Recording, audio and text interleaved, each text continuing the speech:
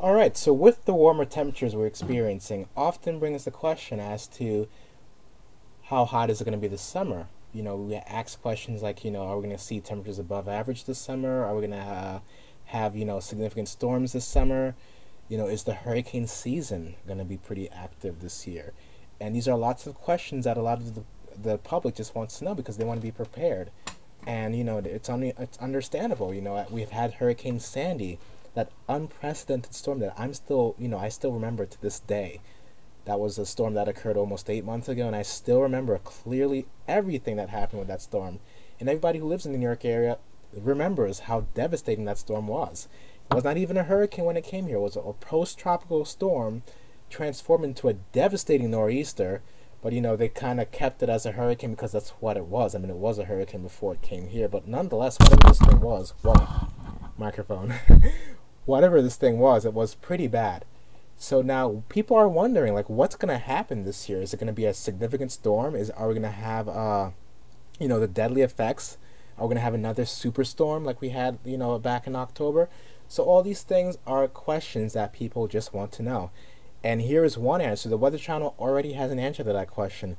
I'm going to read this as I see it on the screen. Uh, it says here that the Weather Channel has released its first 2013 Atlantic hurricane outlook, calling for another active hurricane season.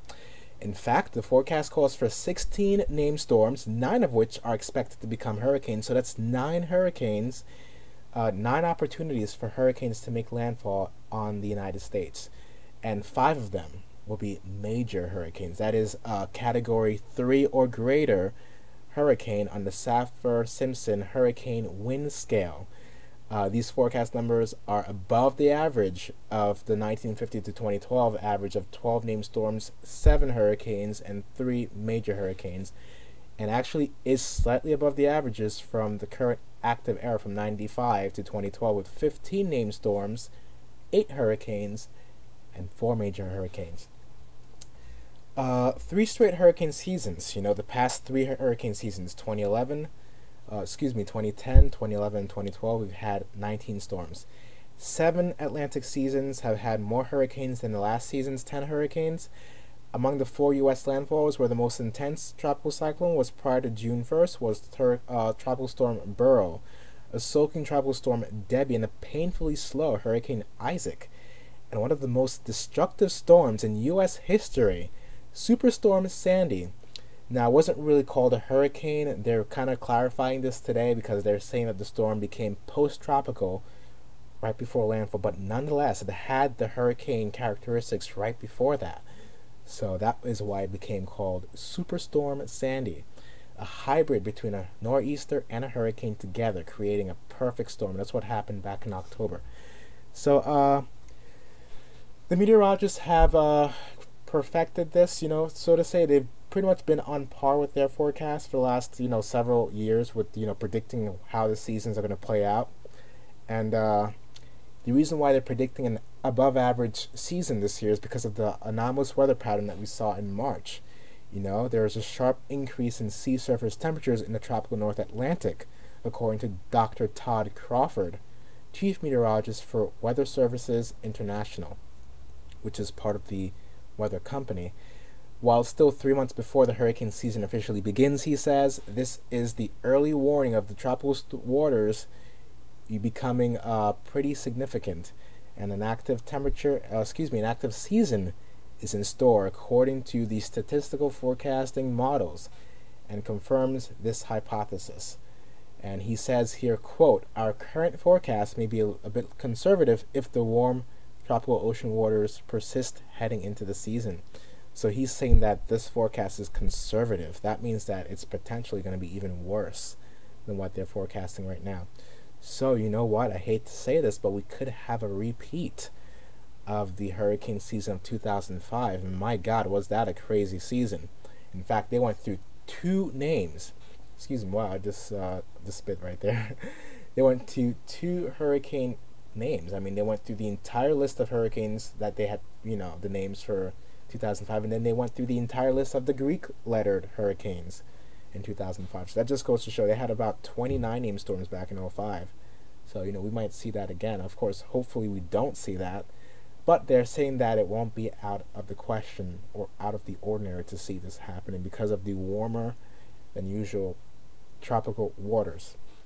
Uh, there is one potential fly in the ointment, and that's because of the El Nino event. And what that means is with El Nino, it, pretty much, you know, predicts the El Nino produces strong wind shear, and when we have strong wind shear, that hinders tropical development because you have to have, you know, the winds remaining calm so that the you know so that the low pressure systems associated with the tropical waves, which are often the predecessors to these major hurricanes, you know, the tropical wave has to pretty much be organized to develop into a hurricane. So when you have a lot of winds in place, the upper level winds, that's going to produce wind shear, and then you have issues with the hurricane trying to organize itself. So therefore, we prevent hurricanes from forming. Period, because of the wind shear, and that's going to be prevalent this summer. So that might kind of abate the forecast a bit. So that's good news. You know, strong wind shear is a good thing in 2008, that was pretty much what happened, you know.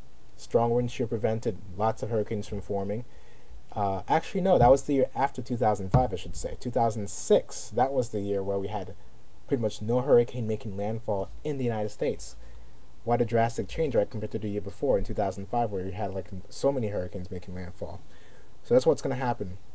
But despite, you know, El Nino, despite the fly in the ointment, despite, you know, this you know warmer temperature we have to be prepared and that's what we're going to be doing this year. You know we've learned our lessons year after year. We learned our lesson with hurricane katrina back in 2005 hopefully we've learned our lessons in 2012 with hurricane sandy. So this year 2013 we're hoping that we can combat this at a decent rate. Speaking of Hurricane Sandy, uh, there are a lot of you know areas still to this date. We're eight months into this post Sandy uh, disaster, there are still several areas, you know, that have yet to recover significantly from the storm. In fact, uh, Long Beach has uh, lots of uh, issues right now. In fact, they're not going to be, you know, ready this summer, this coming summer season. Who knows if they're going to be ready to deal with the tourism that's going to be happening out there. The boardwalk was completely washed away in many parts.